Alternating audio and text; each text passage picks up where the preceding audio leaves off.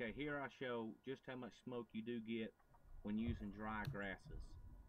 I'm also using a burnt piece of wood to create a fire.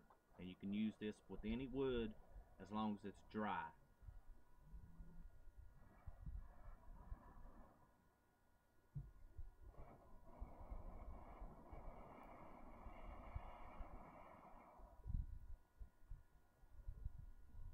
Put the bird's nest.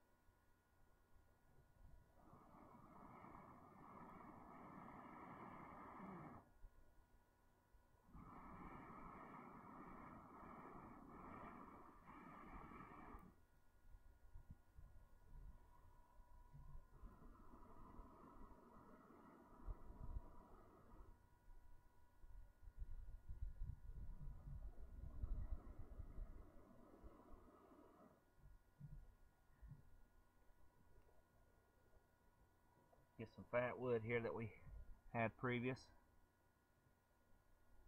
And we gather.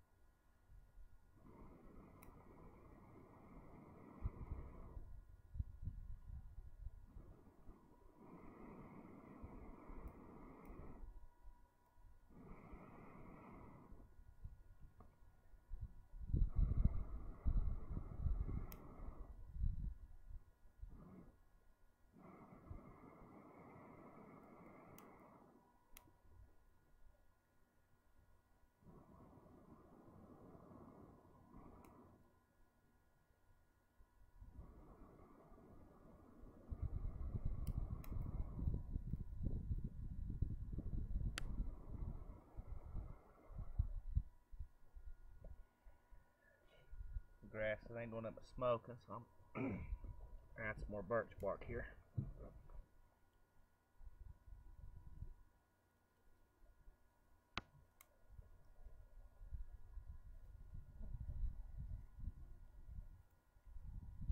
You ain't gotta worry about it going out because it's